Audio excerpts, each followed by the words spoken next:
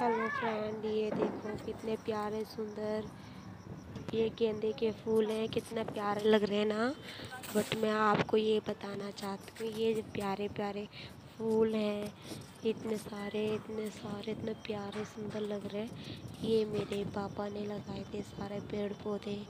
मेरे पापा को बहुत बहुत पसंद था। फूल वूल लगाने रंग बिरंगे फूल इतने सारे गमले रखने का बहुत शौक था उनको।